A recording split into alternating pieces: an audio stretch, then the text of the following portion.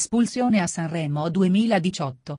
Ermal Meta e Fabrizio Moro restano in gara al festival e stasera saliranno regolarmente sul palco dell'Ariston per esibirsi con la loro canzone, quella per cui sono sì in conferenza stampa è stato finalmente reso noto quel che è stato deciso.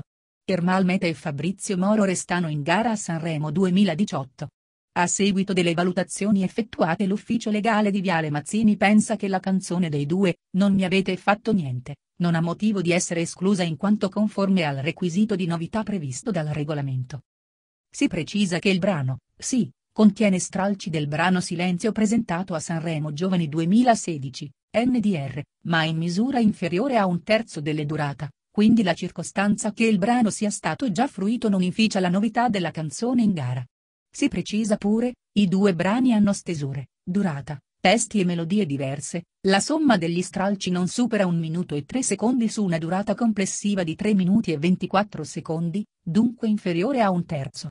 La conclusione è semplice, le due canzoni, pur presentando analogie, non sono la stessa e non mi avete fatto niente è quindi considerata nuova e resta in gara. Stati accusati di plagio.